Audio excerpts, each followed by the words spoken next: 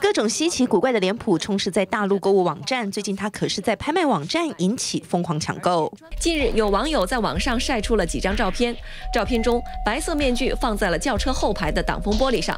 黑夜里，当后面来车开远光灯时，光线恰好打在这个位置。突如其来的惨白鬼脸在夜晚看起来特别惊悚。而大陆媒体也买来这种号称专治乱开灯的魔鬼面具，这远光灯一打下去，不少民众都表示确实很吓人。可能女的可能害怕吧，看着怎么那么吓人呢？